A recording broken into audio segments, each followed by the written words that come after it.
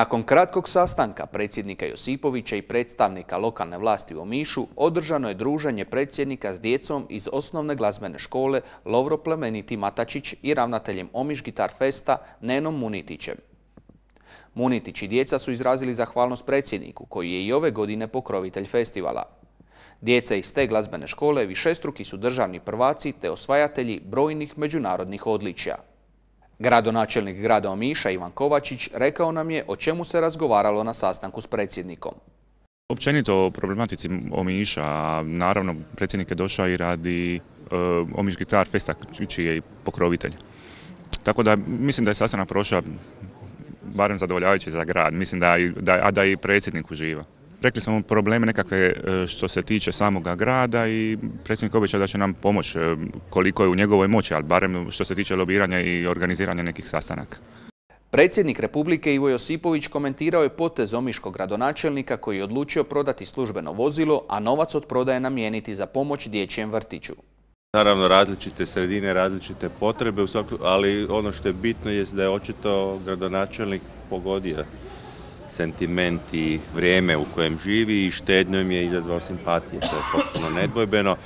E, ja se nadam da će Omiš koji ima sjajnu perspektivu s obzirom na svoju lokaciju, resurse i prirodne i ljudske, e, napraviti velike iskorake. Evo čuo sam nešto od tih planova i nadam se da možda i neće biti potrebe e, da se prodaju neki resursi sutra. Danas je očito to bilo potrebno, gradonačelnik je to učinio i nadam se da će rezultat toga biti brzo vidljiv. Na pitanje mogu li građani imati povjerenja u vladu u kojoj su naočigled narušeni odnosi u posljednje vrijeme između premijera Zorana Milanovića i ministra financija Slavka Linića, predsjednik je odgovorio kako ne smatra da se događa nešto posebno dramatično. Pa, naravno da će građani svoje povjerenje dati vladi s obzirom na rezultate. Ne bih rekao da se nešto posebno događa. E, vlada je stvar premijera i premijer odlučuje i o sastavu vlade i o pravcu kojim se vlada kreće. Za medijska nagađanja o prodaji INE Rusima kaže kako prema njegovim saznanjima još nema konačne odluke hoće li se INA uopće prodati. E, koliko ja znam o tome još nema definitivne odluke, da li će se uopće prodavati ili će se možda s Mađarima urediti odnosi i to je varijanta. Dakle, ono što treba istaći je da je INA prevažni resurs, neovisno o tome ko su dioničari i moram reći da u punoj mjeri podržavam vladu e, u njenoj želji da se uvede rede i da se inom upravlja transparentno, zakonito i u skladu sa interesima i Republike Hrvatske. Prema tome, da li će partner biti ovaj ili onaj, to mi je manje važno, ali mi je važno da INA bude onoj funkciji u kojoj svi želimo. Za kraj je predsjednik prokomentirao aktualnu situaciju u Ukrajini, izrazivši žaljenje što se ta država nalazi u problemima. Izrazio je i nadu kako će ukrajinski narod bez uplitanja sa strane naći pravi put.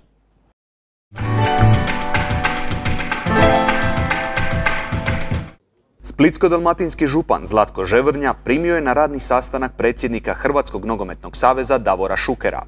Ževrnja je istaknuo kako je Županija još u srpnju 2012. godine pozvala izaslanstvo HNS-a kako bi raspravljali o izgradnji nogometnog centra u Splitsko-dalmatinskoj županiji, konkretnije pored Baške vode. Šuker je došao tek danas, a vjerojatno ne bi ni sada, kada ne bi bilo skorašnje izborne skupštine HNS-a na kojoj Šuker cilja reizbor, za koji će mu trebati i glasovi Nogometnog saveza Splitsko-Dalmatinske županije. Župan je još jednom predstavio sve prednosti gradnje centra u Baškom polju.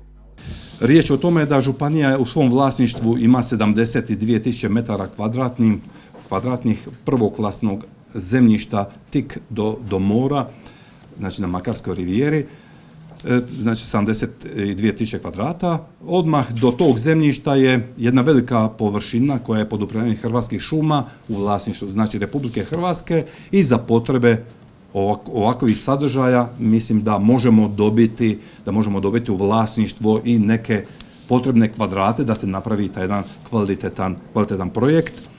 E, poznata je znači Makarska rivijera kao jedan turistički brend ne samo u Europi već i puno, puno šire Makarska je u bivšoj državi bila olimpijski centar, znači imamo i tu i tu ovaj dimenziju, ali isto tako bi spomenuo tu i zdravstveni turizam, odnosno županijsku ustanovu Biokovku.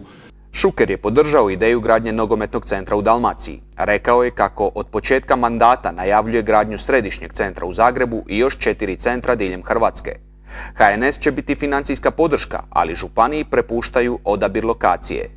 Hrvatski nogometni savez će napraviti pomoć, maksimalnu pomoć, u ovom današnjim teškim vremenima je najvažnije da može osigurati sredstva. Ne želi se miješati u Splitsko-dalmatinskoj županiji gdje će taj kamp bili centar biti. Na nama je da probamo što više sredstava osigurati i evo ja osobno osigurat ćemo najviše što možemo, to je na primjer od 300 do 500 tisuća eura. Šuker je najavio kako će nogometna reprezentacija Hrvatske u idućem kvalifikacijskom ciklusu jednu ili dvije kvalifikacijske utakmice odigrati u Splitu. Na pitanje novinara ili prirodno da se utakmica protiv Italije igra na poljudu, Šuker je rekao kako će podržati tu ideju, no ne ovisi sve o njemu. Da takve priče nismo slušali prije utakmica i protiv Škotske i protiv Srbije u prethodnim kvalifikacijama, možda bi Šukera shvatili i ozbiljno. Novinara je zanimalo kako Šuker može planirati utakmicu na poljudu bez razgovora sa vlasnikom stadiona, a to je grad Split.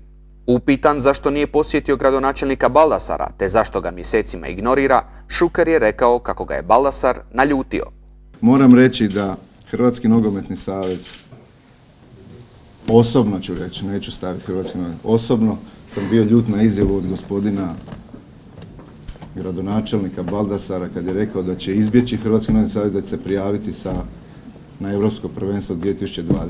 Da li ste i taki bili pred tom E, izjavom od gospodina gradonačelnika. Novinari su Šukera ispravili rekavši kako je Baldasar samostalnom kandidaturom zaprijetio tek u slučaju da mu HNS ne odgovori.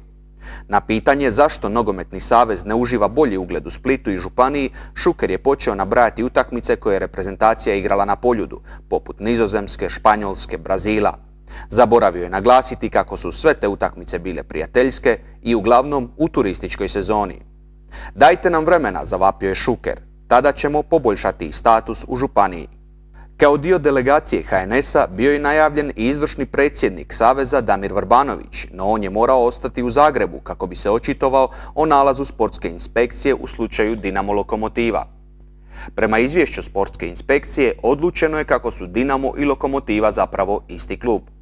HNS je to prihvatio, suspendirao licencu lokomotivi, ali je Vrbanović obrazložio kako popularni lokosi mogu nastaviti igrati u HNL-u jer regularnost natjecanja nije dovedena u pitanje.